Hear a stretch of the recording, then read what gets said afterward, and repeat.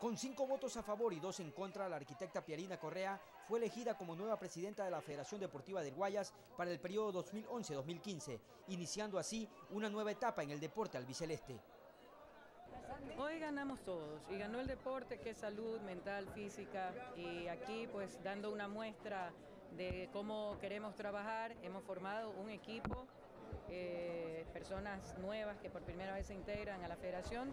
Después de varios años de haber tenido la batuta del deporte de la provincia, el expresidente doctor Roberto Gilbert se pronunció ante la proclamación de Pierina Correa. La vida tiene que continuar, eh, las elecciones se dan, eh, en las elecciones hay gente nueva electa y lo interesante es que no son advenedizos, son gente que está involucrada con el deporte y sobre todo que están dando la cara con ganas de seguir trabajando apoyando.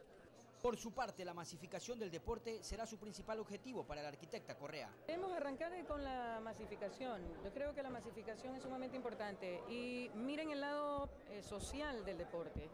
El nuevo directorio de Federación Deportiva del Guayas queda conformado de la siguiente manera.